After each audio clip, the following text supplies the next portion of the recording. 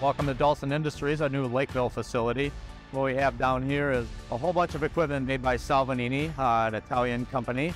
But we basically have a big material handling system that's connected to a punching system that's connected to a panel bending system. Basically, this is a fully integrated production line, and we have two of these hooked up to this material tower. So right behind me here is a Salvagnini MV Material Warehouse, and the MV Material Warehouse holds say 325 different shelves of material. Each shelf can hold 6,000 pounds of material.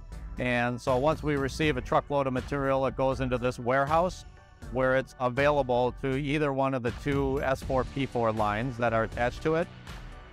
What we have behind me here is a Salvagnini S4 punching system.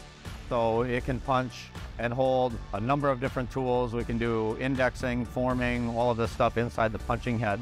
So it's a very flexible and fast way to produce punch product um, that we can send immediately down to our bending units. So now we're at our Salvagnini P4, uh, which is the bending system. But basically what happens here is that punch blank is automatically fed into the bending unit where it's referenced.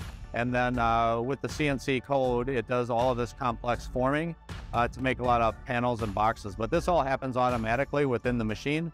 It does all of its tool changes automatically, and we can hem and do different radiuses. Basically, the way the system works, at the end of the line at the bending unit, the operator will ask for, say, 100 parts to be produced from the bending unit. The bending unit will ask for those 100 parts from the punching unit, and the punching unit will ask for those 100 parts or the material for those 100 parts from the material warehouse.